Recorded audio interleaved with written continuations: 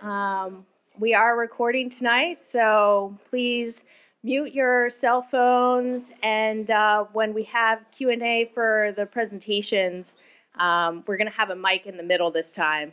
The uh, the wireless mic uh, isn't working tonight. But before we get started, Ben, you had Thanks, Mai. Um, so, hi, everybody. My name is Ben, and I'm a, speaker coordinator here. So, I just wanted to say something really quick, kind of as uh, you know, the person that's contacting a lot of the speakers that you've seen at the meetup. I just wanted to introduce myself and um, and hopefully get you know some get to hear from you guys, from all of you at some points uh, about subjects that you're interested in. So, if I get a quick show of hands, I know some folks are sitting down and, and still eating their food. How many people attended our meetup last month? Okay, and keep your hands up if that was your first time coming to the Drupal NYC meetup. A few people. Great. Thank you for returning the second time. Really appreciate it. That one was uh, one of our sort of um, new content, you know, new to Drupal sort of content. Um, a bit of a theme. We don't always have themes for our meetups. Tonight actually happens to be a Drupal security theme, uh, something I'm very passionate about. We have a lot of members of the Drupal security team here. Um, very relevant right now, certainly. Uh, you know, Panama Papers, um, it, this, this law firm in Panama uh, a lot of data taken out. It's very interesting sort of revelations come from that. They also happen to be using a Drupal site, may or may not have been the attack vector. Um, super relevant, very interesting. I'm happy to chat about that more. Also, really interested to hear from all of you about subjects that you're interested in. Uh, maybe you've presented before to a group, maybe you have not, and you're just interested in some subject. I'd love to hear it. I think people in the audience would love to hear that too. So you have something that you're passionate about. Uh, my contact info will be up on a slide later. Also be over here at the end of the night. You know, you have something that you'd like to share, Drupal related or web related, you know, come talk to me. Um, you know, you can do a lightning talk, you can do a long talk. Uh, we'd love to just, you know, have more people uh, sharing stuff that they're passionate about. So um, I'll turn it over to Mai. Thanks very much, and uh, um, we'll go from there. Thanks, Ben. All right, so yeah, go talk to him uh, if uh, you have some ideas or things that you want to hear people present about. Um, so first, let's talk about some housekeeping. Um, so restrooms, women's restrooms, stage left, down that hallway towards like the end. Men's restroom, uh, stage right hallway down the end.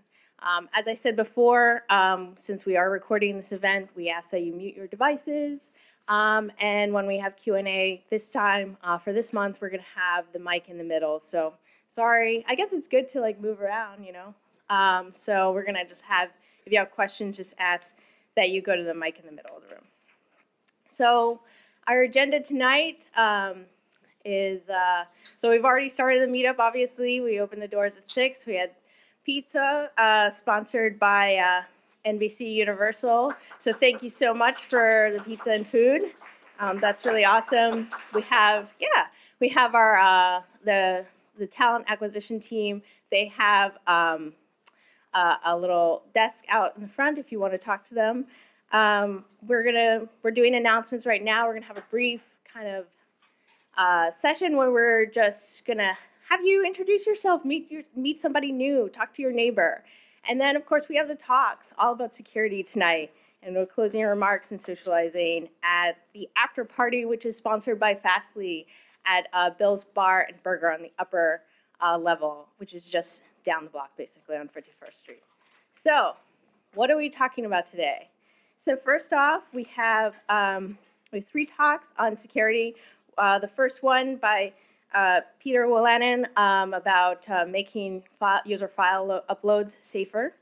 Um, then Manny Sandarajan, sorry, Sandarajan, I still got it wrong, um, is going to talk about securing your Drupal site with Let's Encrypt. Let's Encrypt. Um, David Strauss is going to talk about securing your web infrastructure. And of course, uh, tonight we also have um, newbie BOF uh, with Eric Valinskas uh, that's going to happen out in the concourse. So tonight's organizers, usually Alex Ross is the MC. I'm just uh, substituting for tonight. But, uh, you know, there's all these people involved uh, to make these meetups happen. So thank you to everybody for all of your efforts. As I said before, um, NBC Universal Technology is sponsoring the space, the food, and the drinks. And they, if you want to look for new opportunities or you're just interested in like what's going on with NBC, you, um, please talk to them. They're really friendly. Kevin and Victor are here tonight. Um, I'm gonna have you guys come up like when we do the um, the um, who's hiring and who's looking session session a bit. But um, basically, thank you so much. And of course, thank you again to Fastly for sponsoring the uh, after party.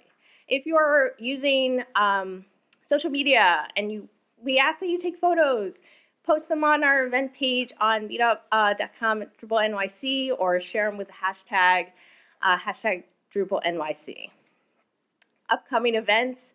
Uh, so we've got a ton going on. Um, Drupal Delphia is coming up.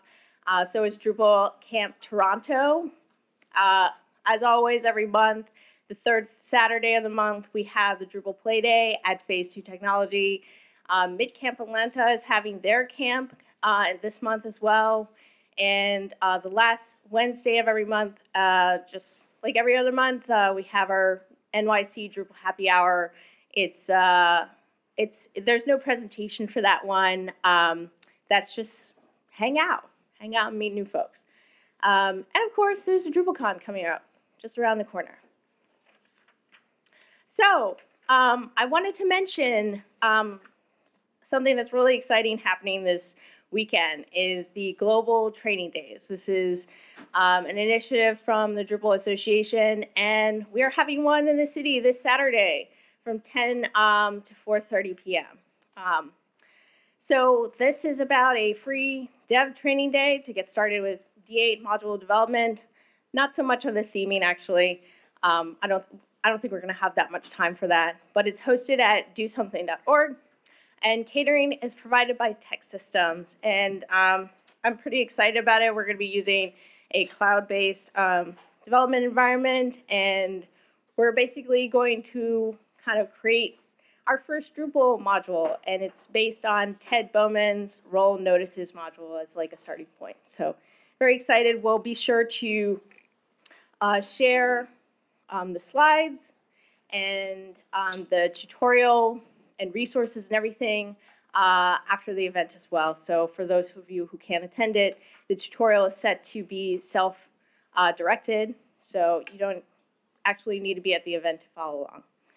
Um, also, something something that I want to get started is a D8 Dev study group, kind of like an informal weekly meetup. Um, so it's starting uh, Tuesday, April 19th at 6 p.m. at Phase 2 Technology. I still want to hear your ideas, guys. I know we kind of talked about using the example modules as a way to kind of like get more into D8 development, but I'm very interested, and for those of you who want to attend, please talk to me. Um, I want to make sure that it meets your needs. Uh, there's not going to be a set agenda, really. It's going to be something that we all decide to do as a group. Um, as Ben said earlier, if you are interested in speaking, please talk to him, or even if you have ideas on what you'd like to hear about, um, also contact him. And his email address is up there, and also you can uh, message him uh, via uh, meetup.com as well. So, um, we've gotten to this portion of the meetup where we want to find out who's hiring and who's looking. So, first of all, um, Victor and um, um sorry, uh, Kevin, please please come up to the front. And also, anyone who's looking for a job or anyone else who's hiring, please come up to the front. Is anywhere? Is it just? Is it just only NBC Universal? Okay, come on up. Yeah, and then Sorry, we only have one mic, so you guys will just. Hey guys, Victor Santos here with NBC Universal Technology, part of the talent acquisition team. So constantly have a need for really great engineers and developers across all of our locations. So feel free to come stop by the table, say hi, um, you know, get to know you a bit, see if uh, we have something you might be interested in. Thank you. Thanks, Victor. Yeah, what, what Victor said. Um, what I so, um, yeah, so I, I oversee our uh, uh, technology recruitment function. Um, in addition to roles that we have, uh, you know, here in New York City, we also have roles in, in Englewood Cliffs, New Jersey. Uh, if you're open to relocation to uh, to sunny California, uh, we got technology roles out in Los Angeles, up in up in Seattle, and a lot of our owned and operated stations across the across the country. So yeah, if you're open to a discussion or just want to uh, to network and chat, um, feel free to stop by after. Thank you. Yeah, hi, my name is Justin Belmont. Uh, I lead a small marketing agency uh, that's based in the village right around NYU. Um, we're launching a Drupal site and we're looking for a part time freelancer. Um, so if anyone's interested, the site is prosemedia.com, P R O S E media.com. That's the current site, but we're developing a new one for Drupal. Um, and you can email me at justin at prosemedia.com. Thanks very much. I'm uh, David Strauss uh, with Pantheon. We're hiring in engineering and customer success positions. Uh, most of our positions are located at our offices in San Francisco and Minneapolis, but uh, they're also open to remote work as well. Uh, we have remote employees in seven countries now.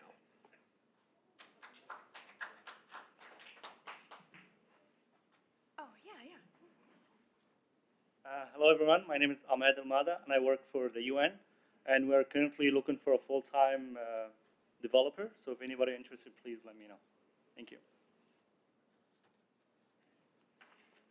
All right, awesome, guys. Thank you so much. Um, and also, you can, if I don't know if any of you guys are going to the uh, after party, but that's also another uh, opportunity to kind of network and introduce yourselves.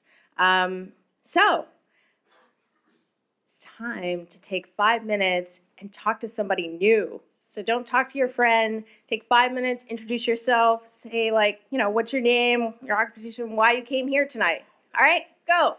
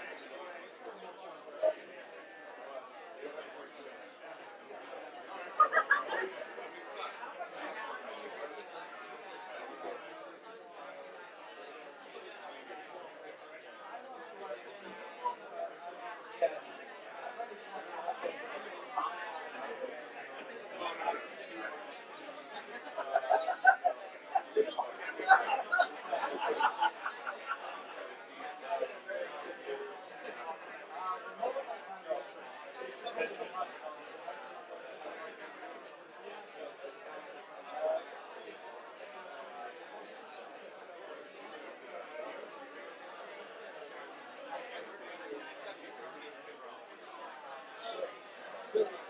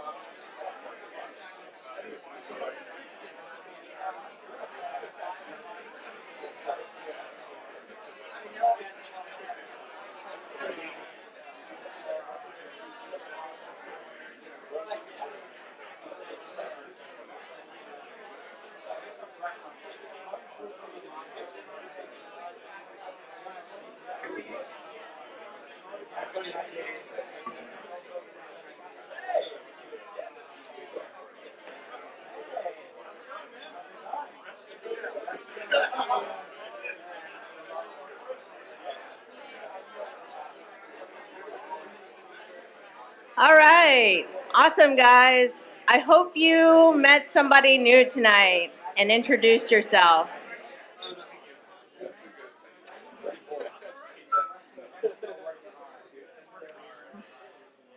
And we're, we're about to get started with our first talks.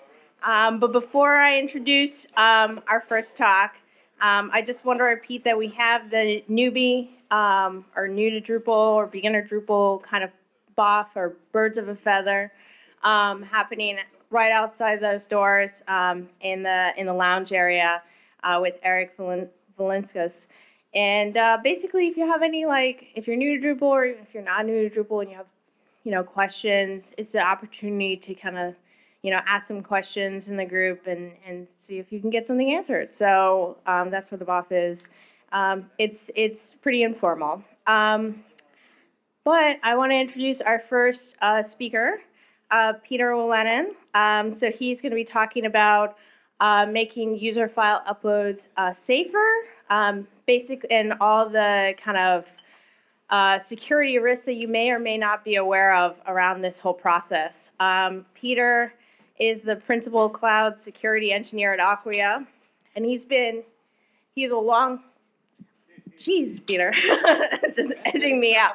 Um, he's he's a longtime contributor of Drupal ever since 2005, um, and he's also a member of the um, Drupal security team since 2008. Um, and he's he's part of the the New Jersey Drupal group, but you know he's he's part of our New York Drupal group too. So we appreciate you coming out and making the trip. So here's Peter. Where do I wire in the display? That's, That's a good question. that's question. One second, we're trying to figure out about the connection for the slides.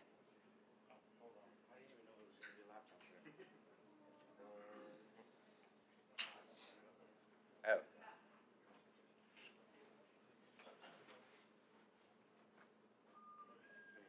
Okay.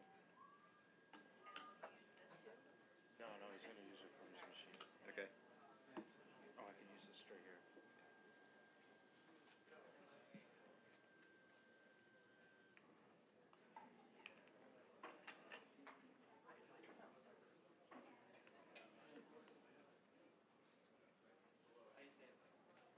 Didn't see it yet?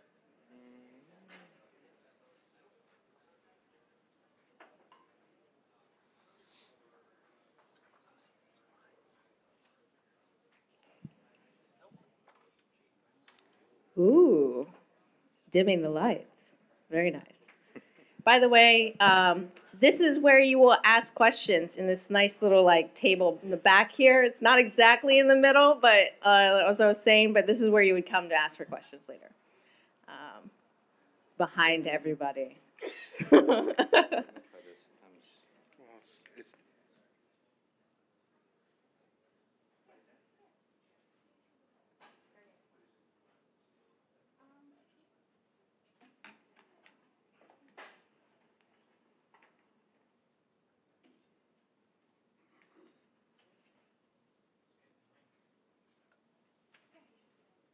Mm, Something happened.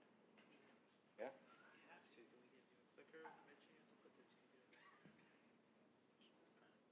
Yay! I see one.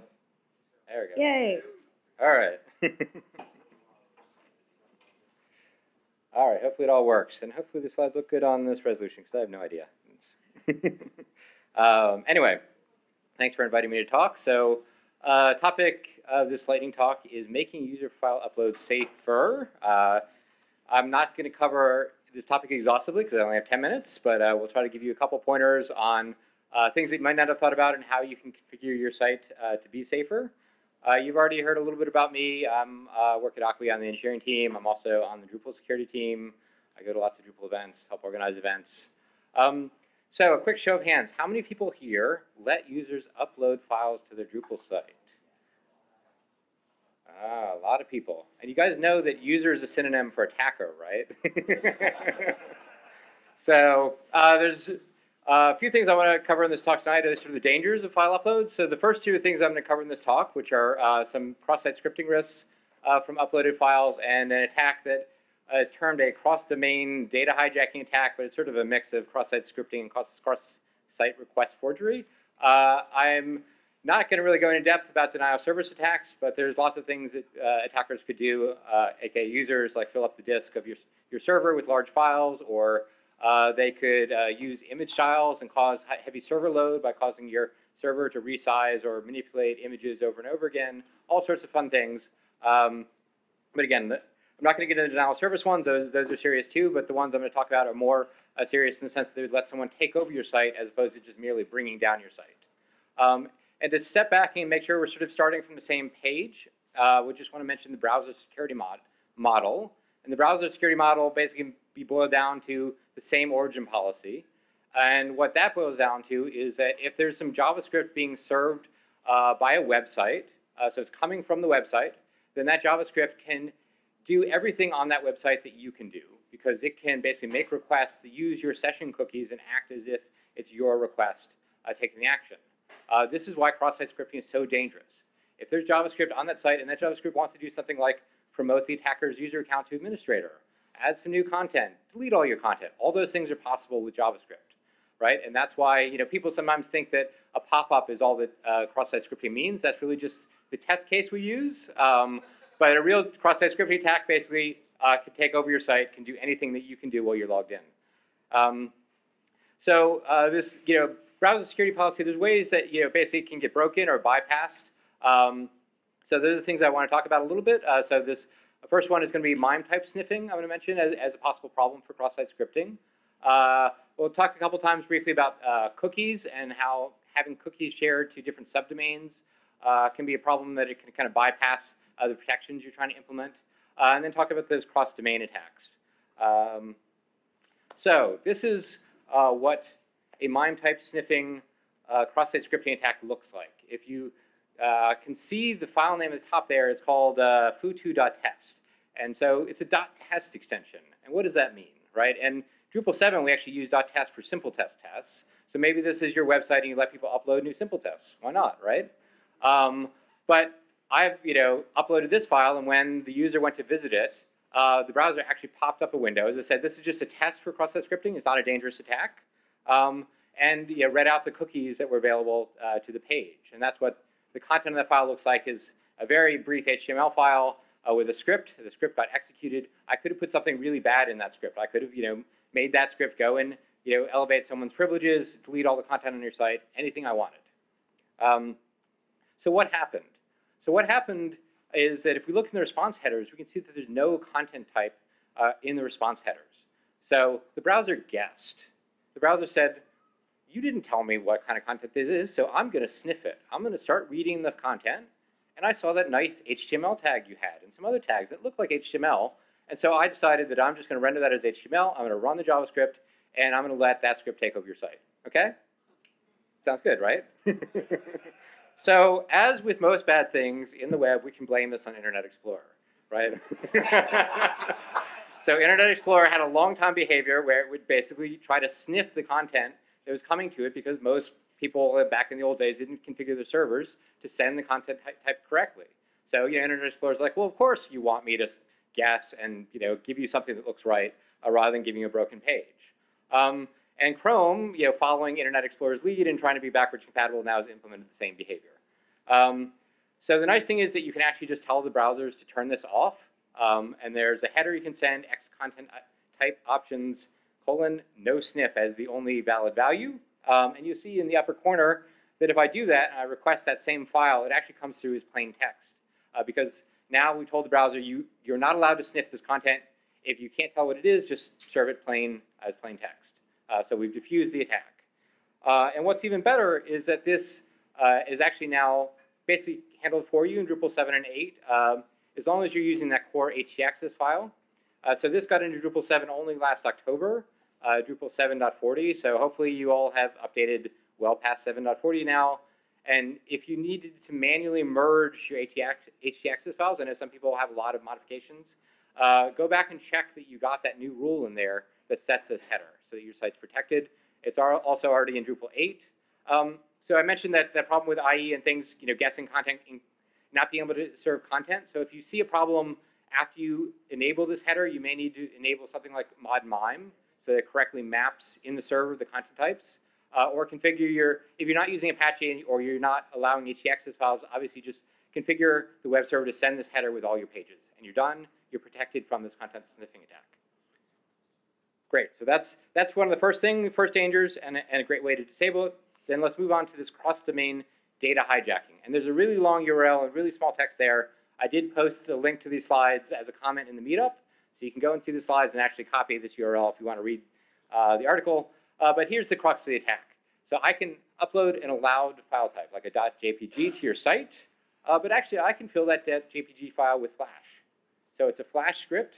Um, now on your on the site, it's not going to be executed, right? Because you're not embedding the Flash in your site. Uh, but the nice attacker who uploaded the site is going to go to their site, and they're going to use an object tag, and they're going to embed this upload on your site into their site. And then maybe they'll invite you then to come and look at their site. And then what happens? So this Flash now runs. Because the Flash comes from your site, the browser says, well, it comes from your site, it must be okay. I can let this Flash do anything it wants to your site. So that Flash, uh, you know, can basically run everything that JavaScript can run, or can talk to JavaScript. Now it can, you know, copy out private files. It can copy out all the form tokens and let the attacker submit all the forms on your site. Uh, it basically, you know, boils down to the same complete control of your site. Uh, so that's pretty bad. Again, we don't want this to happen. Um, so let's think about how we can prevent this. And the sort of most bulletproof way to prevent this is really user unfriendly. And it's called uh, content disposition. So we can set a content disposition header. And basically that's going to force the browser to download each file. So you basically won't render images or PDFs or anything in the browser. You'll be forced to download them every time. Users hate that. Trust me, they really hate it. So, uh, we, you know, even though that's the, the most bulletproof solution, we're not going to do that probably. Um, I mean, you know, I know Drupal, like backend people like me hate users anyway, but even I wouldn't go that far. Um, so, uh, a, a less offensive fix uh, that's just about as good is that you, you want to serve your files from a different domain. Um, and you can actually do this really cheaply and easily if you know you by using a subdomain on the same domain that you serve your Drupal site from. So you don't have to pay for a new domain. You don't actually have to do any extra setup. Just have your web server have the same document root for the subdomain as for your main domain. Uh, but if you can prevent those session cookies from being sent to the subdomain, you block all these attacks. And uh, you can see that you know most of the really you know sharp engineering organizations in the world already do this. So if you go look at where your Gmail attachments come from, uh, they're actually being served from mailattachments.googleusercontent.com. Not being served from google.com for exactly this reason. Uh, that know, Google doesn't want to facilitate attackers uh, who send you an email attachment, and then that email attachment might have access to basically log into your email account, right? That would be bad. So Google is already protecting you from this, and you should do the same for your users. Um, there is a gotcha with Drupal, of course, uh, and this is still true for Drupal 7, unfortunately, uh, that if your website domain name starts with www, uh, Drupal will helpfully strip that off of the cookie domain. So cookie domains basically tell uh, the browser where that cookie should be sent, and if you have a bare base domain, uh, so if you see here, it's like dot, uh, you know, Drupal-7 dot local, just my local test site. But let's just say it was like dot Drupal.org, then that session cookie would get sent to every uh, subdomain in the Drupal.org domain, as well as the main www site. Right, so that's a real problem in, in our strategy that we're going to try to fix this problem by serving files from a subdomain. That's not going to work if Drupal basically thwarts us uh, by sending the session cookie everywhere. Um, So you have to avoid a bare domain, right? So you can't use just Drupal.org. You have to use www.drupal.org. Uh, and you need in Drupal 7 to go in settings.php and set this variable called the cookie domain, uh, or put some logic around it to set it, uh, so that you actually get this full URL, www.drupal.org, and not uh, the truncated one. And there is a Drupal core issue if you want to try to help backport this. It is fixed in Drupal 8, so Drupal 8 uh, does not strip this away and, and prevents the problem. Uh, and that's a snippet of where you find it in settings.php. Um, so as we uh, move to wrap up, let me give you the safer files recipe. So these are some things you could do for your site, basically uh, to avoid those two big you know, attacks that I talked about during this talk. Uh, so you're going to want to serve your uploaded files from a subdomain or from a completely different domain. And in either case, you want to make sure that the session cookies are not being sent along with the request for the file. Uh, you can do that either using a CDN module, uh, the CDN module, or a little custom module. I'll show you the code. It's very short. Uh, and then uh, you want to prevent uh, Drupal itself, the Drupal site, from bootstrapping on that files domain. So you have to, like, you know, in your site's uh, folder, use actually the specific domain name that you're serving Drupal from, or use sites.php, or use a redirect, something prevent Drupal from being served on that files domain. And conversely, you can't let the files be served on your Drupal domain. So if the attacker could just rewrite all the links uh, in their attack to back to www and have it work, uh, then you haven't prevented the attack. Um, so here's just a quick uh, code snippet to show hook file URL alter in Drupal 7. And basically all I'm doing is I'm taking, uh, in this case, the incoming file URL, I'm getting its path, I'm getting the file name, and then I'm sticking on the front of it a, a uh, domain name that has a subdomain that's downloads.something. Right, so now I'm moving all the file URLs basically off of my www domain onto this downloads subdomain. And because I set the cookie domain, my session cookies are not going to get sent to this subdomain, and now I'm safe. Uh, similarly, I, as I said, you need to block file downloads uh, directly from the www domain. So here, it's a couple lines you could add to your htaccess file. Basically, say if, your if your URL starts with www, then give them a 403. Don't let them access anything. And that's it. Um, so that's the recipe. Um, a bunch of these things kind of fit into this category also preventing host header attacks, which means basically preventing Drupal from being served on a domain that you didn't intend it to be served from. So take a look at this hand handbook page. I'm happy to answer questions about why those are dangerous, uh, but I'm running out of time. So I will end it there and take your questions.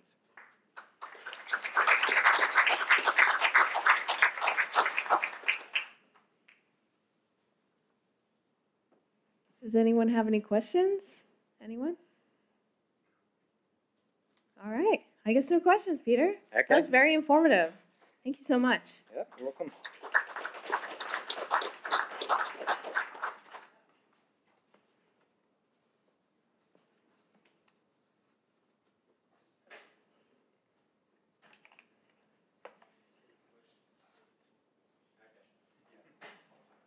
We'll just get you hooked up.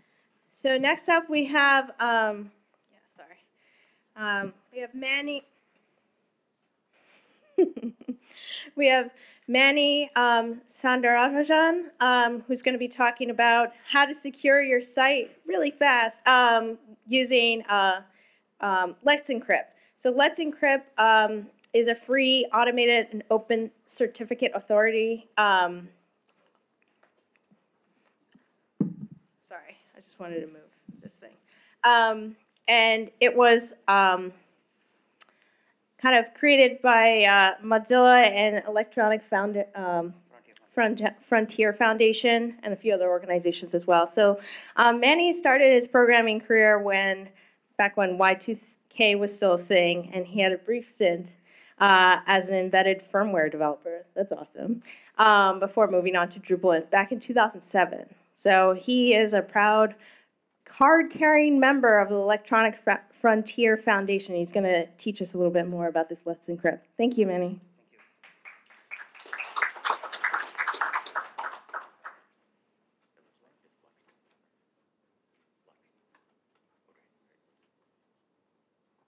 Oh, yeah, it is. Sorry. Yeah, yeah, yeah, yeah. All right.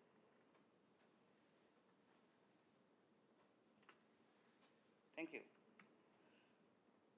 Okay, so um, can we have a quick show of hands? How many of you use HTTPS on your production sites? Nice. And how many of you do it on your staging site? Your QA, your development box? Right?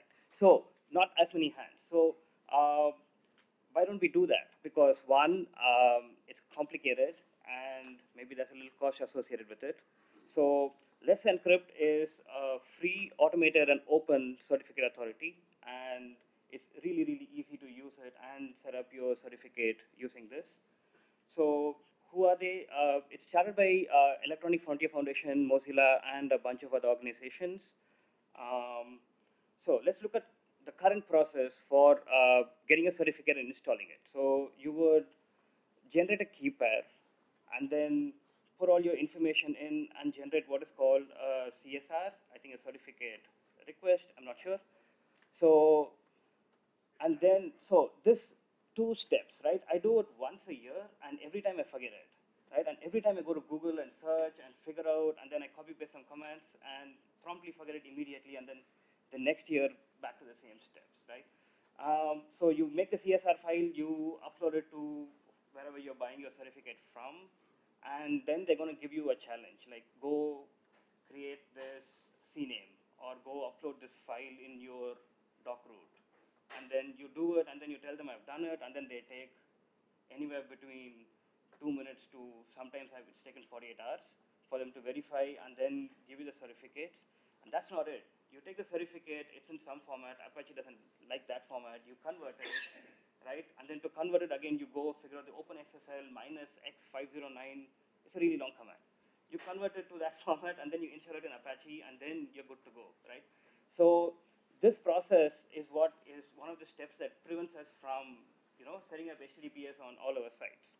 So what I did is I set up a demo site. It's not HTTPS at this moment. I just have a bunch of uh, screenshots to show you.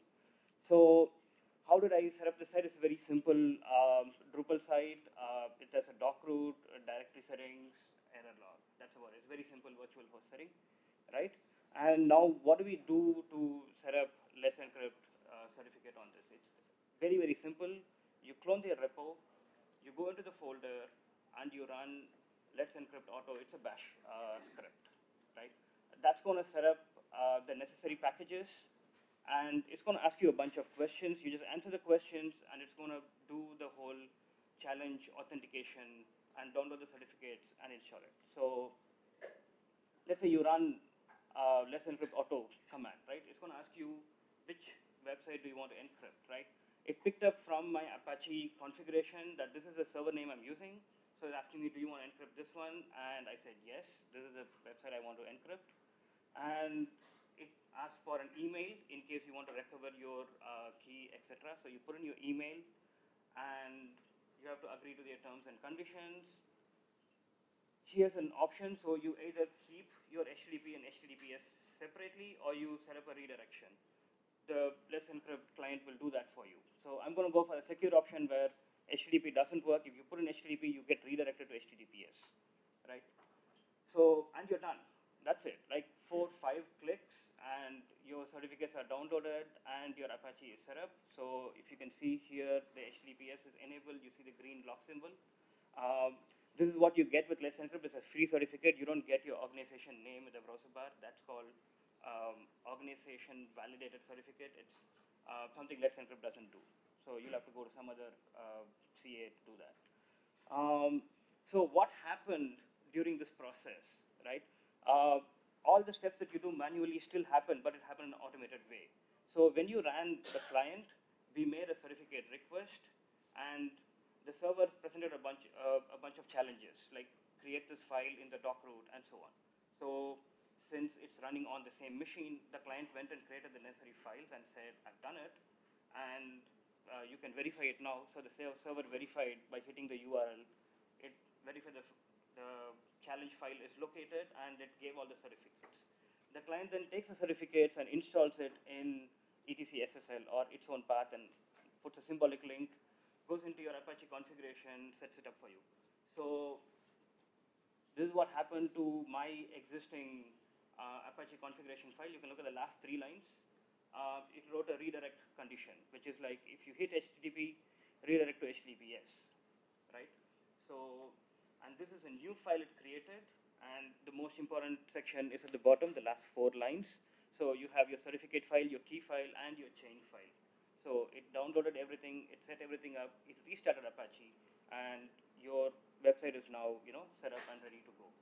So as you can see here, you have a certificate, it's valid. It's not one of your self-signed certificate that throws up a scary looking warning saying, are you sure you want to do this? And the advanced users say proceed, but most people get afraid, right? But this is a legitimate certificate. It's given by a CA, and it has a root certificate that's already in most popular browsers and operating systems. Um, so yeah, you're all set at this point. Uh, let's look at the validity, right? So Let's Encrypt has a policy of, so if you look at this, I made this just before the meetup. So the validity is till July 5th. So April, May, June, July, three months, 90 days about, right? So they have a policy of giving a certificate for only 90 days because if you give it for a year, then you forget about the whole process, right? They want to make you um, renew often because there's some security that comes with changing your keys often. And this forces you to renew your certificates and it also forces you to automate. If you're going to be doing it every three months, you're going to think about, I want to automate this process, right? And the beautiful thing is everything on the server side and the Acme protocol is automated. So you can take advantage of this and automate the whole thing. So you don't have to do this. If you're using Ansible, there are uh, ready-made roles available. If you're using Chef, you can go to the supermarket and download a cookbook. And these are things that are done for you. Just download the cookbook, drop it into your existing Chef provisioning script, add it to your role for that server, set up the configuration that you, there are a few things you still need to set up with this, but once you set it up, your Chef, let's say you run it for every 15 minutes, right? Every 15 minutes is going to check, like, is it time to renew the set? Then it's going to go to everything automated, right? So you can set it up one time in Chef and forget about it. Your certs are automatically renewed and your server is always um, encrypted. So that was really fast. Uh, that's all I have. Uh, thank you.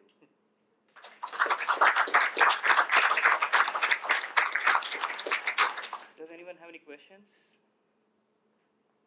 Come over here.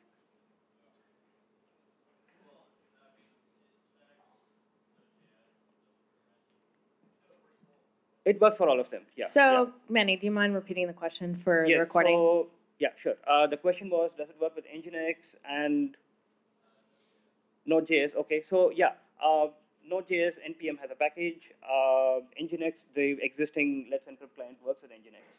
There is also a Ruby-based uh, web server called Caddy that comes built in with Let's Encrypt. So if you use that web server, you're all set already. It comes out of the box with Let's Encrypt client.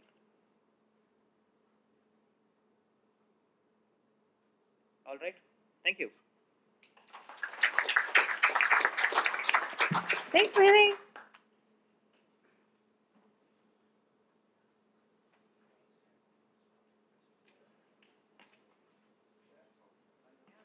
Uh, I don't actually have an HDMI out. I have DisplayPort and I have VGA. Uh, that might do the trick. What, what do you need, David? Need a DVI? Um, uh, that may do the trick. Thanks, I'll try it. I know my DisplayPort can talk HDMI and uh, Okay. While he's getting set up, um, our final talk for this evening uh, is going to be by David Strauss. It's going to be about, um, oh, good, it's working. Um, it's going to be about uh, um, securing your web infrastructure. So it's for Drupal, but also, you know, not necessarily Drupal specific um, at times.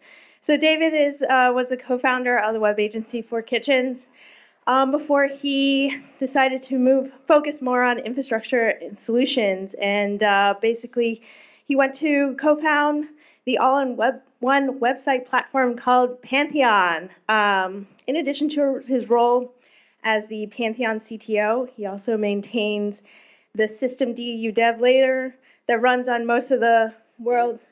probably most of my intro. Well, I think your intro is pretty cool, actually. Do you mind if I finish? Um, I'm sorry. uh, that runs on what most of the world's uh, Linux system. You also serve on the advisory board for the Drupal Association and contribute contributes to the infrastructure and security teams at uh, Drupal.org. So, David, Thanks. there you go. Thanks. I, the, the text of that is just old. It's just uh, the um, okay. Um, so anyway, um, so I'm here to talk about avoiding Death Star security. Um, who here has seen um, you know Star Wars? Who's seen the Death Star get blown up? That's pretty good. That's pretty good. Um, and so um, uh, you probably all know that the Death Star uh, was blown up basically by one very precisely aimed hit. Um, and that is uh, what I'm here to talk about about building infrastructure that is resilient even in the face of that sort of very precise hit. Um, just a touch about me, like we kind of went over this though. So um, the um, I'm I've been deeply involved in Drupal since about 2006, uh, but I've recently become more and more involved in web infrastructure. Everything from uh, what boots uh, most modern Linux distributions, all the way up to um, deep integrations with uh, routing, CDNs, security, firewalls, um, resource management, you name it, um, uh, via my work at Pantheon. Um, and um, I'm here to uh, talk about defending your website um, and defending it in a way where, in a way that most people don't talk about. Um, most people love to talk about security from the perspective of avoiding the first breach, uh, avoiding someone coming in the front door, or avoiding a case where um, you have um, uh, you have one of the most common vulnerabilities affecting the site. Um, I'm talking today about the idea of let's assume that someone's gotten code execution on your server. Um, and I want to help you defend against uh, that becoming a completely catastrophic event for all of your infrastructure. So um, in this world of this metaphor, um, unfortunately, you're the empire. Uh, uh, because uh, you have the Death Star, you have the website, you're the one under assault from the rebel scum. Um, and um, they are going to be coming at you from all angles and looking for that perfect attack. Um, and they'll and if they try hard enough, hard enough, they will find one because perfect security is not possible. Um, so we need to find ways to not make the same mistakes as um, uh, Darth Vader and other planners of the Death Star did, which was to try and focus on that one outer layer of vulnerability um, and have one mistake be able to destroy the entire system. Um, the in um, in Star Wars, they're able to find this one vulnerability. Um, the one vulnerability, I guarantee, is going to be present on your infrastructure. No matter, even if you're perfectly patched, even if you're running the latest version of Drupal, latest version of Apache or Nginx, uh, all the kind of best practices, you're going to have a one vulnerability. Someone's going to be able to find it, um, and they're going to be able to exploit it um, in a way that uh, will possibly be able to take control of your website. Um, so one of the things that's important is to not overly focus on just getting your website done. Um, uh, it's important to focus on security as actually part of the project.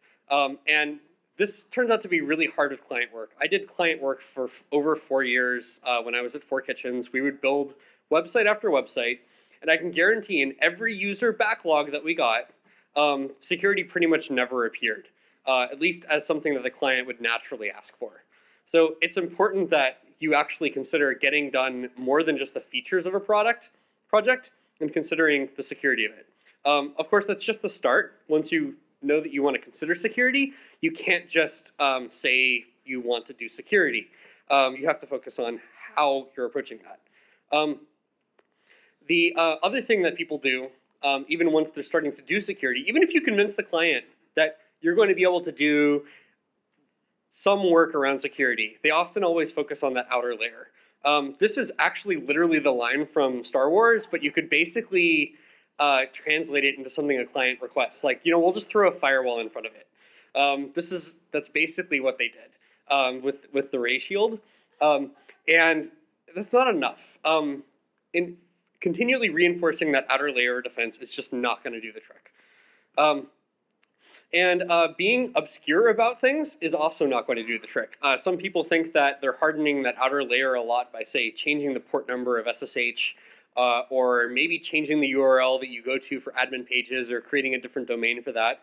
But um, if someone getting a hold of your code base is going to have enough information to compromise your site, that's also a bad practice. Um, and this is actually, uh, again, a great kind of parallel between modern exploits that we see and what actually happened in Star Wars. They were able to get the plans to the Death Star, and that was enough for them to, con- to conceive of an extremely effective attack. If someone going onto GitHub and accidentally getting access to your code repository, or even say a former employee who just accidentally still has access to the repository, has enough information to compromise your infrastructure, that's not good.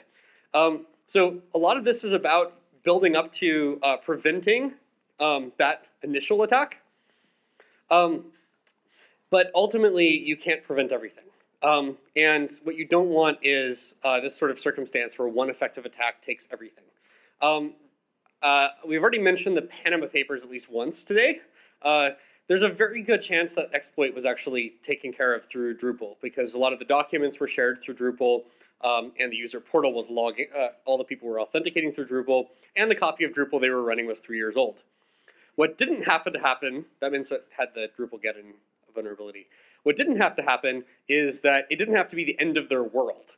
Um, unfortunately, so many systems are designed this way. Um, you'll find actually several major releases on WikiLeaks that are just um, cases where they were able to come in the front door and then slowly build up um, their attack, sometimes over time.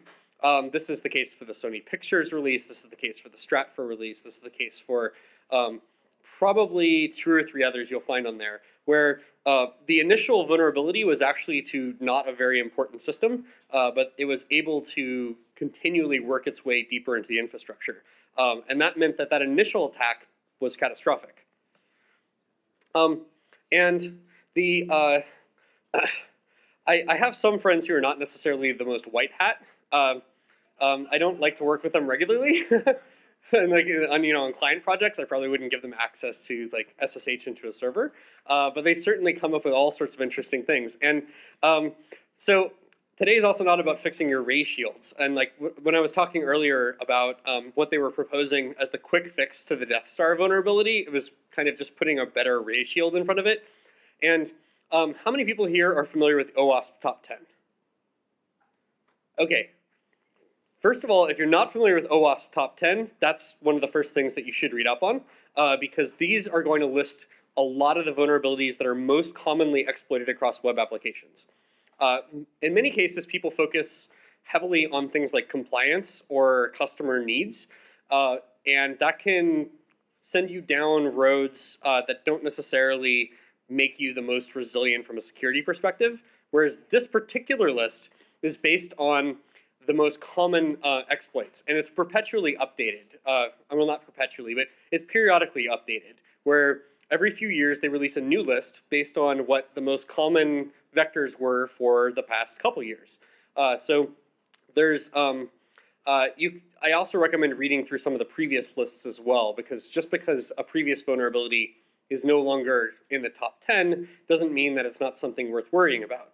Uh, this is where you're going to see all the stuff that Peter talked about. Um, things like cross-site request forgeries and upload vulnerabilities. These are the, the ways that people get in the front door, um, that gain access to user sessions, that um, they're able to um, get form tokens to submit things. This is, this is how they start the attack. And if you can stop an attack here, that's even better. Like I would love for you not to need a lot of the other advice I'm going through here. But it's probably uh, worth taking anyway. Um, one of the first things um, is in terms of uh, what you can leak from your site is only what you have on your site, um, at least in terms of if your site is isolated. Uh, one of the most common things that people leak from their sites are things like user credentials. Uh, it, I just did um, a quick search on password leaks in 2015, and you can see um, here's a 13 million leak, here's a 10 million password leak, here's a 200,000 um, account uh, password leak. And even if your site's not very important, it actually kind of is uh, for your responsibility to your users because even if the stuff on your site's not important, Um, if you leak the passwords of your users, many people reuse the same password on many, many sites. So there are almost certainly people who are using the same password on your websites and their bank's website. Uh, and this makes them extremely vulnerable to, um, to attackers if you're not treating that information carefully. One of the first things I recommend for people to do, uh, and this makes marketers super happy too, um, is to look at using federated and social login for your site. Um, a login with Facebook or login with Google button isn't just a convenience for your users. It means they're not setting a password on your site. Uh, it means they're not having to choose a password. It means they don't have an opportunity to reuse a password. It means you can't leak their password because they haven't set one. Um, and um, when, when I say it makes marketers happy, uh, it also reduces the friction to people becoming a member of your site. And certainly there are some privacy issues around uh, certain types of social login, uh, but it is uh, easy to make use of it without actually um, going down that path. You can just get a user's uh, Facebook account name without having to get their list of friends, without having to request information for posting to their wall, without having to get access to their contact books on Google, etc. Um, and so I highly recommend looking at that. Um, a lot of people start by talking about things like two-factor authentication, uh, but I think this is actually the most effective approach because almost all of these providers are um, session aware, device aware, geography aware, two-factor enabled, etc. They have more security and awareness around their account protection than you could possibly implement on one individual site. Um, and you can leverage all of that infrastructure by federating from uh, the, the identity providers that they uh, implement on the web. And it's all free too. Um, now, uh, for people who do want to set up passwords, or if you need to be able to process passwords on your site, um, it's important to reduce the risk of leaking that um, and what happens if it is leaked. Uh, a lot. How many people are familiar with uh, hashes for password storage? Okay, that's a pretty good number. Um, this used to be a, a, thing where I would talk about it maybe closer to 10 years ago, and five people in here would raise their hand because everyone was storing it clear text in the database or with an MD5. Um, the uh, Drupal 7 and later actually do a pretty good job of this out of the box. Uh, they use um, almost all the techniques that I'm mentioning here, with the exception of Pepper. Um, the, uh, and this provides users with a means of uh, setting up an account on a site without having to federate from some social identity, or if they want to maintain a completely anonymous identity. Sometimes user uh, privacy is more important than individual account security. Um, and in this case, so uh, with Drupal 7 and later, you get um, the modern one-way hashes. Um, the, um, uh, the salt uh, is unique per password. Uh, salt is something that gets added into the hash of a password so that the same password uh, occurring different times on different sites is not the same hash exactly. And it massively increases the amount of effort to go from the hash of the password back to what password would work for that user. Uh, it's not perfect because if you use some hashes that don't use um, what's called password stretching, um, the, it still can be very fast to do something like a dictionary attack. Like if someone just uses the password green on the site, that would still be very fast to process on many systems. But fortunately, Drupal 7 and later use P, uh, um, password stretching, which is where the hash runs many, many times um, to increase the amount of computation necessary to go from plain text to the hash. And it takes a short enough time that it's not too much trouble for your server, but a long enough time that someone going through a dictionary would, would have a real uh, hard time um, calculating and testing everyone's passwords on the site. Um, this is again with with that assumption of someone's gotten execution ability on your site, they're able to download the contents of the database. Um, and Drupal 6 sites do an absolutely awful job of this, by the way. Uh, they use an, um, I believe they use an unsalted MD5 password, um, which is about as bad as it gets. Uh, yeah, Peter is saying that there is a module that makes it work like Drupal 7, and you should seriously look at that if you're actually. I'm sorry, what? If you're still running Drupal 6, uh, you know that a lot of people are still running Drupal 6. the uh, and um, you still have a responsibility to your users. And actually, taking these defense in depth strategies is even more important with Drupal 6 because there's not going to be as much regular support for patching. So um, it's even more likely that someone's going to gain random execution privileges on uh, your site. Uh, so you got to be really careful with that. Um, and of course, um, you, uh, if you're using passwords, um, adding in two-factor authentication can be super useful as well. Um, where the um, uh, you have the password, which is something you know. Um, this is kind of the most common implementation.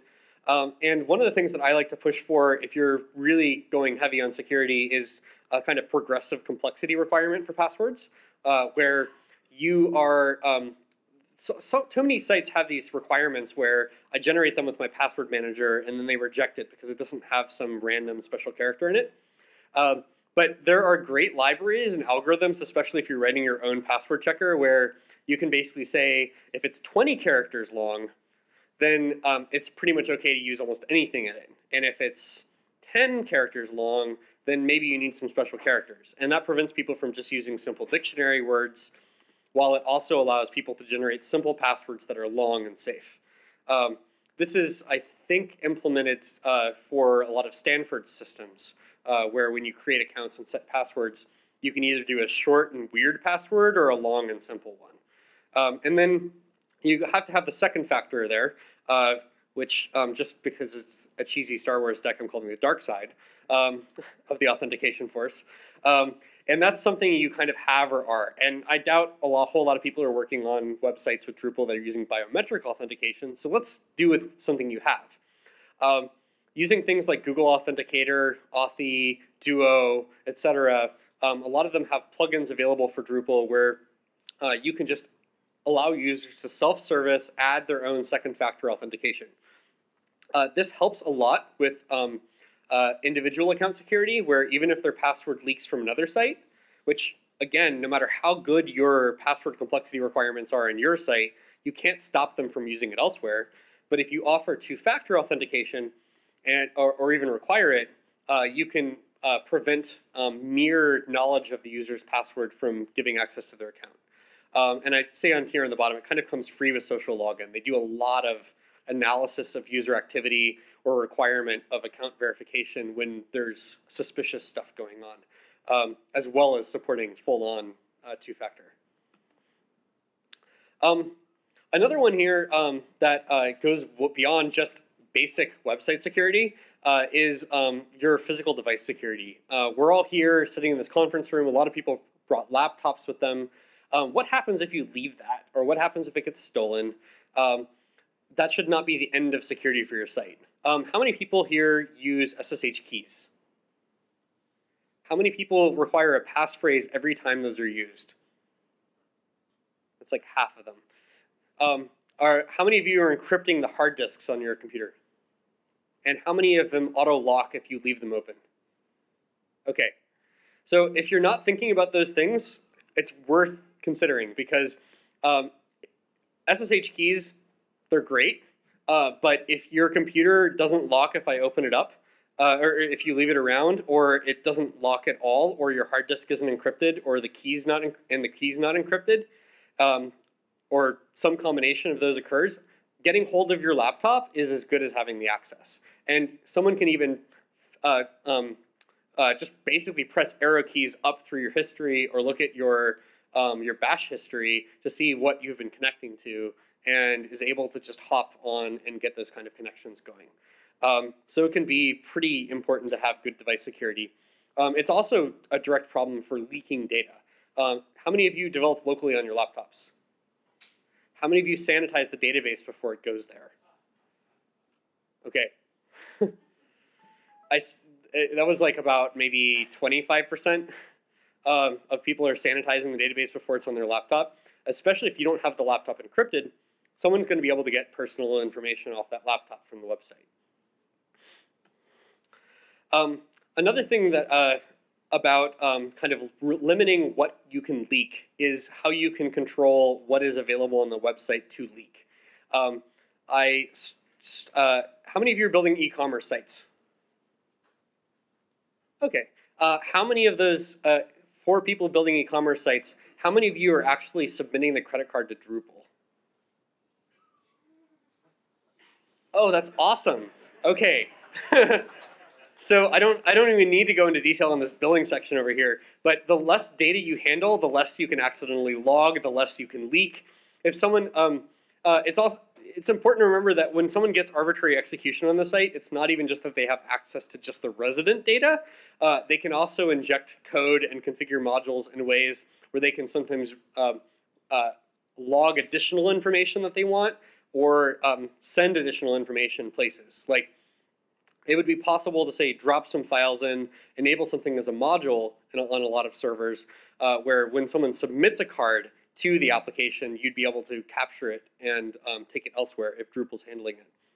Using services like Chargify, Recurly, and Stripe, uh, directly submit the card information to those services, give you a nice handle uh, that doesn't involve holding the cardholder data.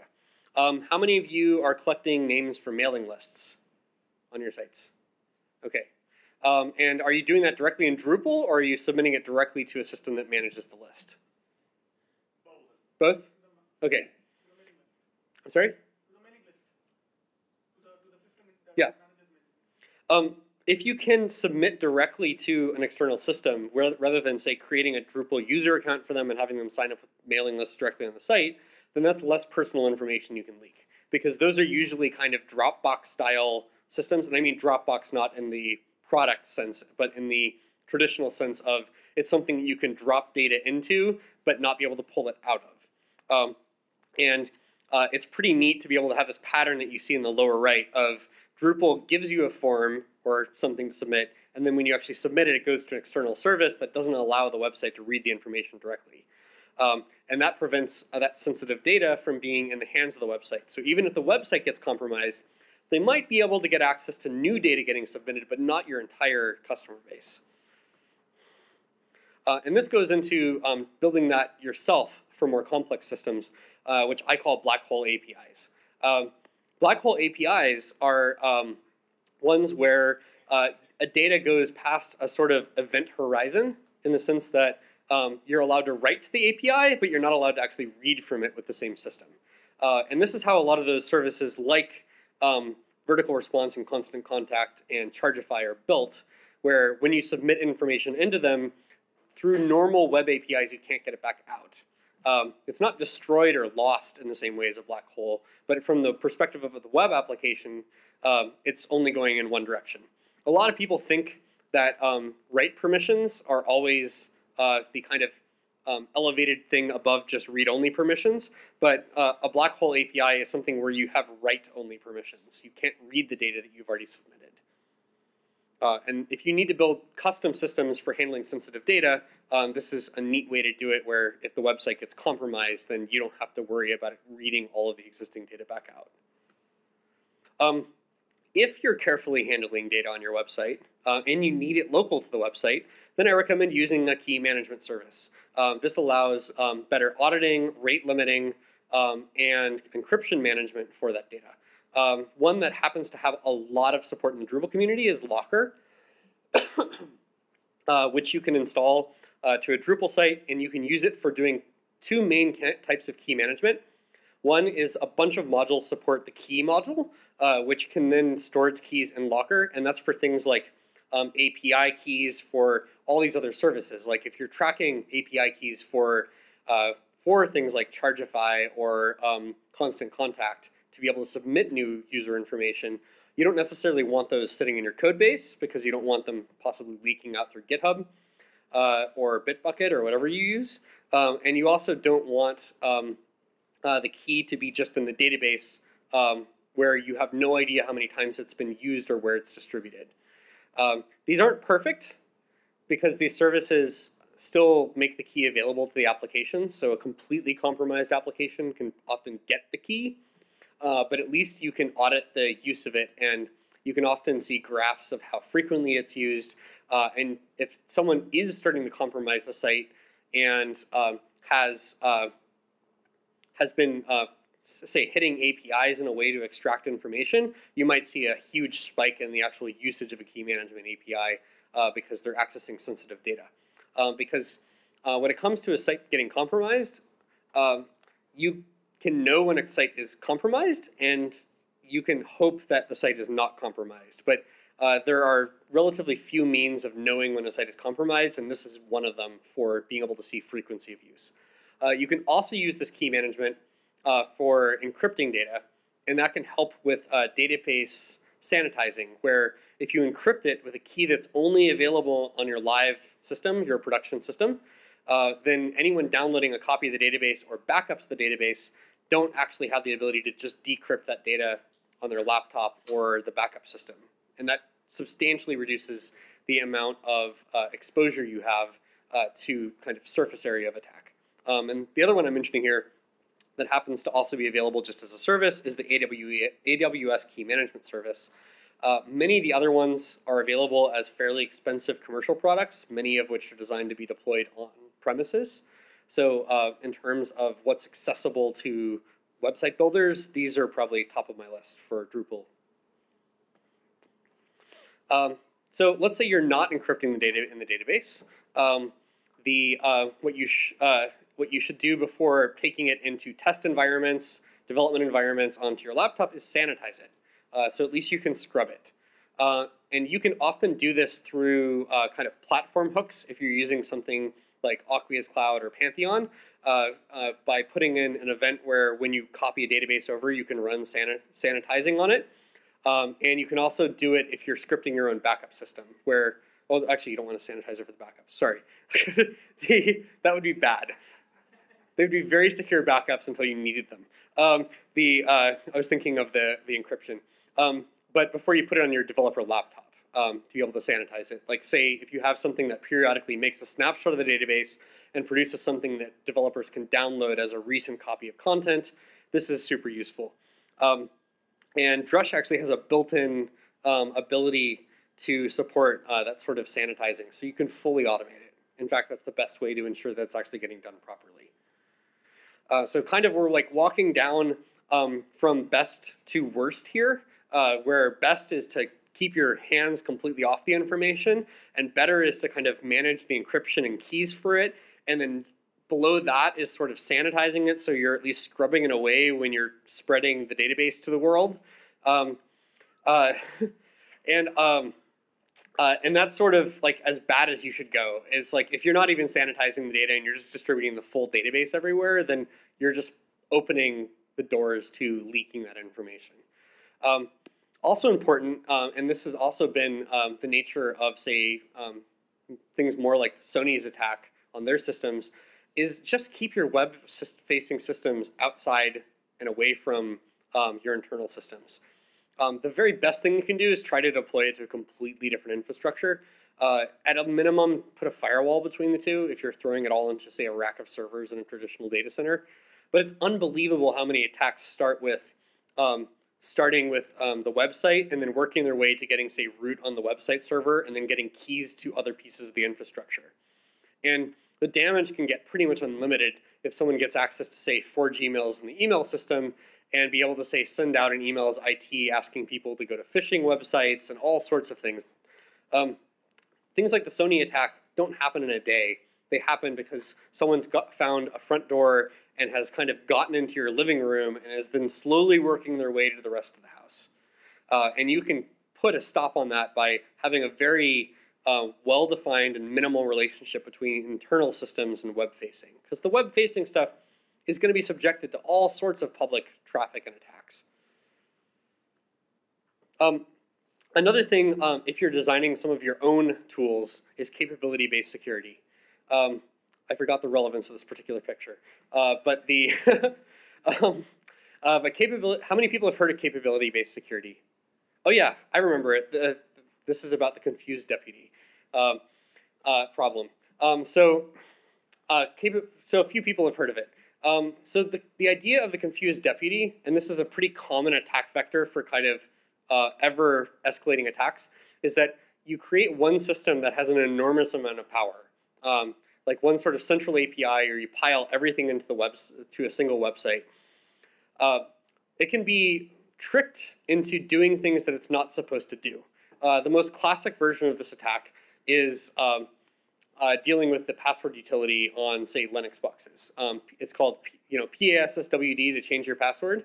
Uh, it's that actually runs as root, even if you're not root, and uh, it's under a its duty is to just change your password without trying to let you do anything else with its root privileges. But it can be very dangerous because it legitimately has root privileges. Uh, so if you can trick um, PASSWD into doing something nefarious, then you can trick the system into doing something nefarious uh, for your own uh, for your own attack. Uh, and what that means is that you don't necessarily want to build systems that have global access to everything. Um, capability-based security is one of the best answers that we have in the industry to it, and it's reasonably uh, complex to implement. But if you're building uh, a complex infrastructure without just a website, uh, it's worth looking into. The idea of capability-based security is sort of like a will call ticket, um, where you go up to a booth, you identify yourself, you get a ticket to be able to go into, say, a movie, and then when you're about to go into the movie theater, they just check that you have a valid ticket. And uh, when you're going into that movie theater, they don't actually care that uh, who you are. They don't ask for your ID. It's sort of like a boarding pass on a plane as well. Uh, you have that thing in hand, and you're able to do that other action. Uh, and what that means is that you've separated the idea of who is actually reviewing who you are and what you can do from who is actually allowing you to do it. Um, and the chance that you'd be able to trick both the box office into issuing you a ticket um, and be able to trick um, the agent at the door in accepting um, the ticket uh, for an attack is much lower than having those in one role. Like traditional role-based access control combines the two, where you have someone basically looking up someone's name and then seeing if they've bought a ticket to go uh, on a plane or in, into a movie theater. Um, it's a little um, tough to get into here, but I just wanted to kind of raise it as something to look at if you're integrating complex systems. Um, the idea here, say for a website, would be, let's say you want to build a system to be able to pull up someone's account um, uh, to say view transaction details, rather than building that in a way where the Drupal site tells the other system who you are, and that other system has to figure out whether you can view that account. Uh, the Drupal site could generate a token that you can click on and then the other system can verify that. And then you don't have two systems that can be compromised for users. So Peter asked me to go slowly through this one last time, or at least kind of uh, um, build on it a little more gradually rather than unloading it all in one slide. So this is my attempt at that. This is, this is a deck from uh, Drupal Camp, New Jersey. Um, so uh, I'm going to start off with the really easy ones that most people do, or at least most people are aware they should be doing, even if they're not. Uh, the very first thing is running HTTPS on your website. Um, and um, the reason why I'm covering all this as public key infrastructure is you can set up these things as mutually distrusting, uh, where you don't have to have a bunch of secrets that are distributed everywhere across your infrastructure. Um, and really the first piece of that is HTTPS. Uh, you may have noticed on HTTPS you don't have to have anything preloaded onto your browser for every single site you visit. You only have the certificate authorities that are actually um, verifying the identities of websites. And um, in the previous presentation, we covered Let's Encrypt as one of the newest certificate authorities. And that's a great way to get started with this if you're running your own server or have an account. Um, or even just use something like Cloudflare that automatically issues and maintains the certificate for you. Because one of the most vulnerable connections um, is the connection between the user um, on whatever random hotspot that they're on and your website.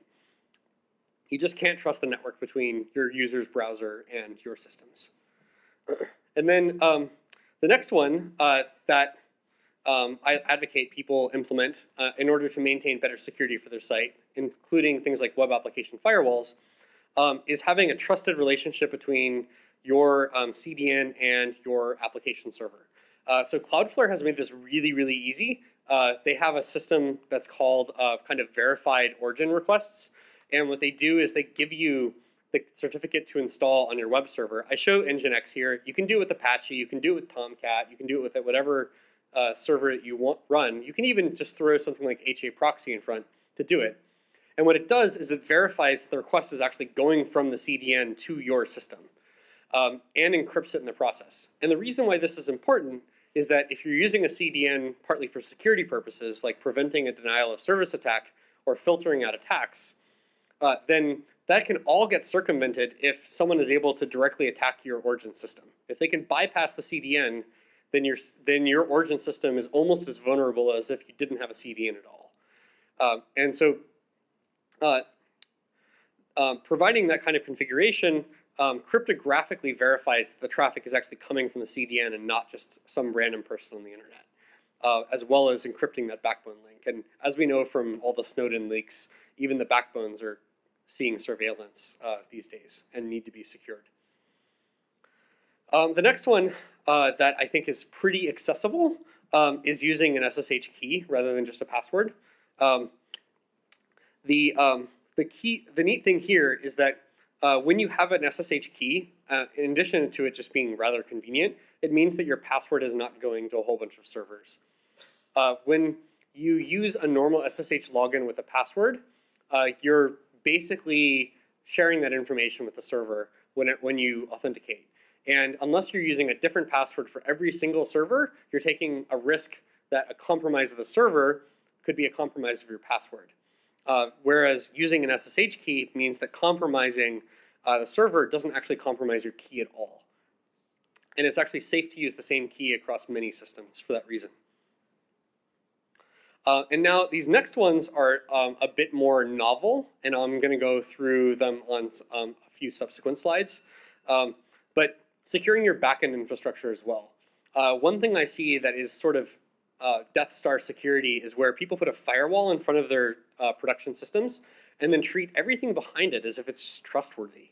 Uh, where if you allow, uh, if you don't require any kind of real password for connecting to your database or file system or Solr box, and you just trust that everything behind the firewall is acting um, in uh, a good way, then you're putting yourself at a lot of risk. Because sometimes these systems uh, are not well isolated from the web or are co-located with other sites. And uh, it invites a sort of um, a, a, sort of extended attack where if you're deploying infrastructure like this, you're often deploying several websites to it. And if one of them gets compromised, how much does that compromise the other ones? Uh, if you don't put any kind of unique credentials on uh, these other backend systems, then a compromise of one website in that behind the firewall is often a means for them to download the entire database of all the websites behind that firewall. Um, so even if you don't actually set up certificates for these things, having unique and real credentials can help a lot. Uh, if uh, every site that you deploy behind that infrastructure should have its own different um, credentials for the database and other systems. So I'll briefly touch on some of the ways to implement that part because it's one of my favorite topics, at least internally at Pantheon. Um, one of the things that I really want to bring eventually to Drupal is using certificates for the database. Um, Google has actually been going this direction with the Google Cloud infrastructure. One of the supported ways of setting up connections to the database that's best supported is actually using certificates. And the thing that's really neat about these is that you don't actually send any credentials to the database that are really leakable, which means that your surface area is reduced. Um, if you use standard passwords and the database gets compromised, um, then someone can get the hashes, or if they really compromise the database software, possibly the passwords themselves. Uh, by using things like um, certificates uh, for accessing this sort of service, uh, which Google actually makes really quite easy by just giving you the client certificate to download to connect, uh, then you can um, then you can connect in a way where the server can verify your identity without you sharing a secret with it. Um, and this is sort of how it looks for, well, this is exactly how it looks for doing with PDO. And you can subclass Drupal's uh, own uh, database connection layer to, to connect exactly this way if you have interest in implementing this sort of infrastructure. Uh, I would love to see that become part of core uh, as one of the supported ways of connecting to the database. You can't? Well, yes, you can. Like, I think you have to subclass the driver though, because I don't believe it provides a, currently a way to actually pass in this configuration. Uh, although it might be possible by passing in uh, arbitrary array options. Yeah. Yes. Uh, that's actually kind of concerning, but the, uh, uh, but in if you do it right with MySQL or MariaDB, one thing that's neat is you can actually get rid of the whole user password thing, and uh, you can put the whole distinguished name of the certificate, which is all the details of the identity of the client, in. And then that actually provides a way to rotate passwords, or I shouldn't say passwords, I should say rotate the key without actually having to go through any kind of uh, confusing process of rollover. Like, how many of you rotate your passwords for your databases? That's like one hand. Two. um, Well, one of the great things about this approach is it doesn't actually break the access of the other clients when you rotate the keys uh, because it's validated in a, in a way that's different from just there being a shared secret.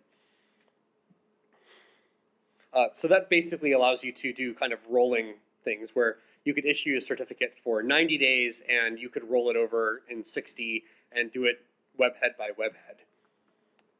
You can also do this for Solr. Uh, this is actually what we do on Pantheon. Uh, we have all connections with Solr handled over uh, client certificates. And uh, you can use exactly the same method, and you can even use the same certificates for it.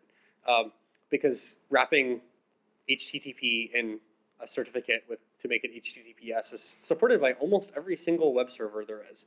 Uh, and so this example here uh, is where um, this is a, uh, an example for Tomcat's configuration that requires the client to provide a certificate before it's able to negotiate anything. Um, one of the neat things about this sort of approach, where you handle the authentication at the um, application runtime level rather than the application, is that uh, it prevents attacks like the Panama Papers, as far as we can tell. Um, and the reason why it prevents those sorts of attacks is that you can't actually send anything to the application until you've proven that you have a valid identity. Um, one of the problems with using just Drupal authentication is Drupal actually gives you a lot of access to a lot of its internals uh, before you've even authenticated as a user. And this sort of cuts off communication before you can um, even say the first word before you're authenticated. So even if Solr developed a vulnerability, or has one, or you have a vulnerability from a previous release, the uh, you wouldn't have to worry about it being exploited by random agents on the web uh, if you actually um, trust uh, the application container level rather than the uh, implementation of something like Solr itself. Um, and you can also do this via Nginx and proxy to pretty much anything, where you can require um, uh, this option here, SSL client certificate, actually says what is the authority that has to be, that the client certificate has to be signed by to access the system. Um, and client certificates work almost exactly the same in the reverse direction as the certificates that most of us have set up on the server side. Uh, so that instead of it just being a certificate on the server side, there's one on the client side as well, which I'll also um, cover this a little bit. Um, so if you're really, really serious about implementing some of these things, um, I recommend looking into implementing your own internal CA. It sounds like this big, expensive project, but it's not. Um, basically, the idea is you create your own mini certificate authority that your own systems trust for the sake of your database, for Solr, for file systems, uh, for internal web communication. Uh, you have to go through a few extra steps that you might not be used to uh, for versus creating a normal certificate. Um, specifically, this top area where you create a private key and then you kind of self-sign that. And the CA itself is basically its own little self-signed certificate. And then you can use that for system after system. You don't even have to put that certificate, the private part of your CA online. Ideally, you don't. Um, but you can generate certificates for the client uh, of MySQL, the server MySQL, um, client and server for Solr, etc. Um, and that can all be deployed in a way where you can rotate things as often or uh, as you want for those systems, and you don't have to rotate them all at the same time either, because rotating client certificates um, is a pretty straightforward process that doesn't break the other systems. Like if you have five web servers, you could rotate the first one and it wouldn't affect the other four. Uh, and that's one of the reasons that we use this extensively at Pantheon. Uh, so with that, um, I will open the floor for questions.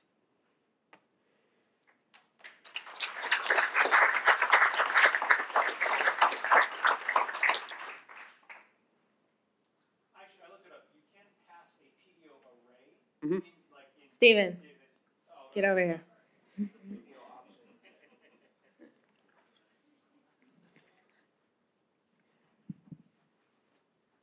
So just to follow up, uh, I took a look. Yeah, you can you can pass a PDO key in any database definition uh, for Drupal 7 without modification, and you can specify any of the PDO SSL things if you want to do MySQL client cert authentication Oh, awesome. in Drupal It- 7. It, actually works really well with PDO, so I've been looking forward to eventually trying that out.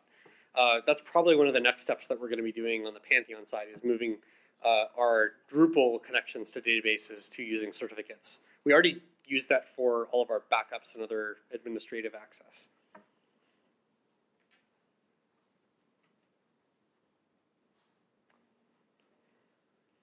So just a question, what, what is the performance impact of signing all these requests? You're basically layering a request and maybe a couple other back and forth exchanges for, for every, instead of just sending, you know, the database request with the password.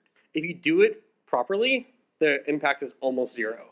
And the reason why is that uh, you can do two techniques uh, that massively accelerate this. And um, I'm talking here now from the way that, uh, so our load balancer that we use internally uses certificates for connecting to each of the application containers.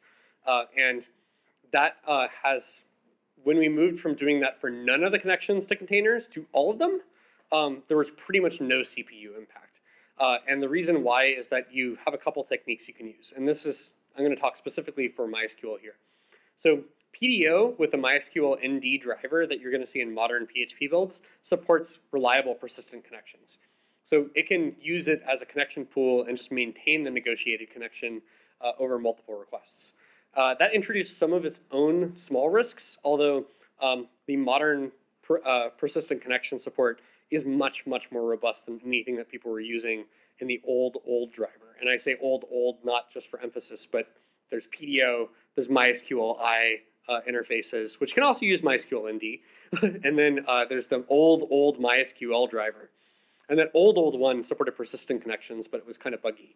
Uh, and then they dropped it for MySQLi, and then they reintroduced it for PDO. Uh, so that's one thing you can do to avoid negotiations.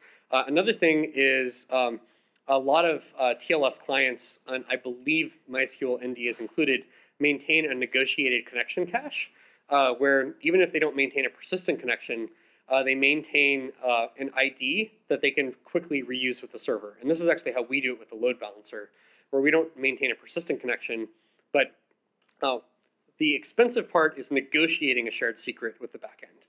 Um, but once you've negotiated a shared secret, you can continue to use it, especially if you can maintain um, uh, a cache of that data on both the client and server side.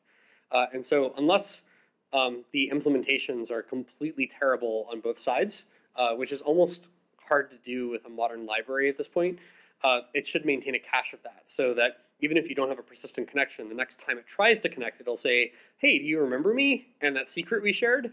Uh, and then it can go right back to going doing symmetric encryption. And symmetric encryption is extremely cheap on modern processors.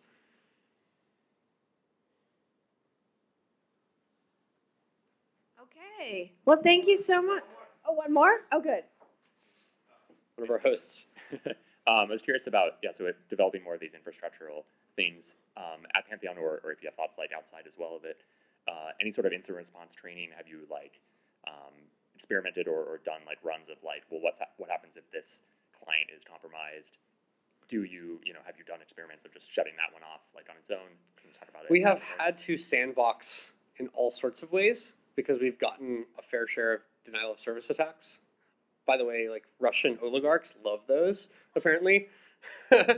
the uh, uh, we, have hosted some sites for political dissidents that have been uh, subjected to attacks like that, and uh, for the most part, the resource management strategies we use have been effective uh, in the sense of uh, making sure that it doesn't extend to enough resource consumption that it's actually affecting other customers substantially.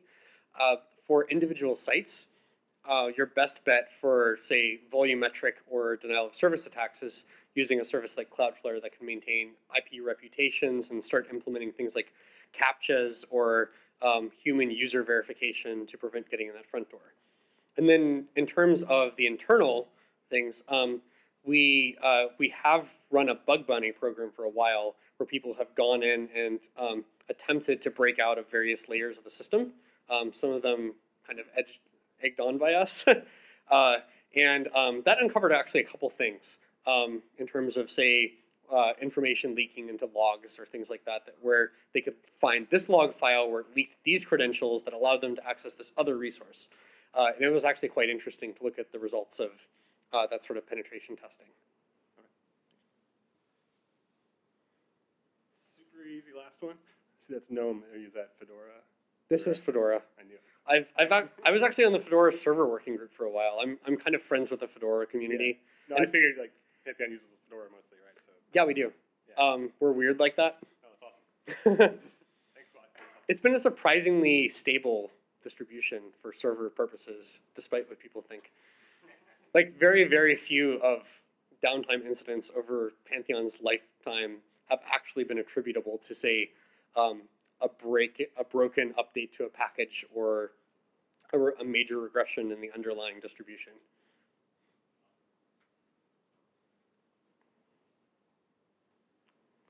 Do you have any knowledge of how um, protected or unprotected our government um, government resources are?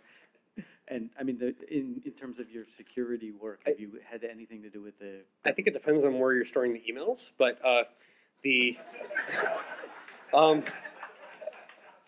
because apparently that server was supporting like SSL 2.0. Um, the um, uh, and subject like possible to subject to downgrade attacks. Um, so the DoD does a lot of interesting security research. Uh, and in fact, we've adopted a number of things that they've done, uh, where uh, we use all of our SSH tokens are um, are YubiKeys using the um, CC ID protocol that was standardized by the DoD. Um, so, like when I put one of these into my computer, um, it the key, the private key was generated on here is not extractable from here. Um, it can sign the challenge on here, and I have to put in a PIN or password for it to do the signature on the challenge. And then that uh, the attempts on that are hardware enforced. Where if I do even three bad attempts on here, it will actually make it'll put it into a sort of recovery state where I need to use a higher level passcode to unlock it. And if I attempt that a few times uh, and that fails, it will actually make it will render the key um, not the physical hardware but the actual key on it unusable until it's reset. Uh, and so this has been helpful for a number of uh, for resistance against a number of recent vulnerabilities against desktops. Uh, like there was a vulnerability in the uh, rendering of PDFs in Mozilla where someone was able to attack it to read arbitrary files. And one of the attacks that they tried to do was read uh, .ssh uh, slash IDRSA off people's computers. Uh, I'm sure they succeeded on some systems, uh, but you can't do that to a hardware token. Um, and then there was another more recent attack uh, with the, um, I forget, it was in the OpenSSH client, uh, where if you didn't run a separate key agent, uh, you'd be able to extract private memory out of the client by using a little known feature. I think it was some sort of roaming feature that has now been fixed. Uh, but that's something that like government security coming back to uh, something I think is important. They also participated in standardizing some of the single sign-on protocols like SAML and stuff like that. Um, like, but are you asking like how vulnerable it is? I mean, I don't think that their security is that great. Like even the DoD in general, uh, even if they have an occasional good thing.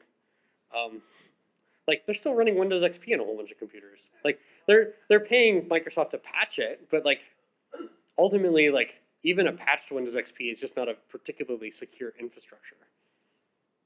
It just doesn't use a lot of modern techniques. But there's been a surprisingly few number of leaks from government agencies compared to private. I just like empirically.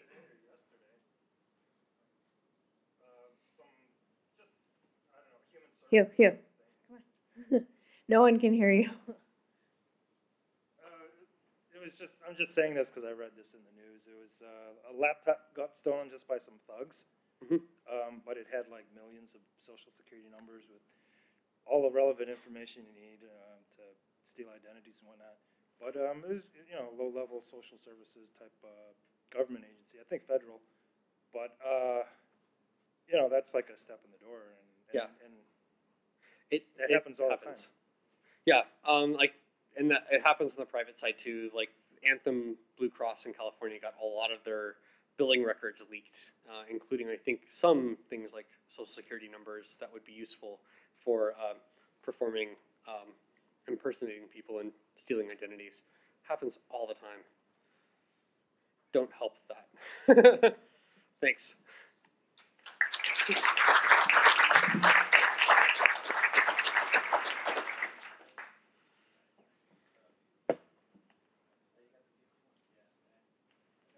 Thank you so much. That was a great talk. Um, so our next uh, meetup is um, Wednesday, May 4th Um, we uh, will have information about the talks planned for that meetup, um, you know, posted and, and et cetera on um, the event page. Um, but uh, we're a little, we're finishing up a little bit early, so we can stick around here. Um, typically, like our after party starts around nine ish. So um, feel free to hang out here, finish some pizza. If you want, you can mosey on over to Bill's Bar and Burger, but uh, we're probably not going to head over there in mass until like around nine ish or eight forty-five ish. So thank you so much for coming out. Great.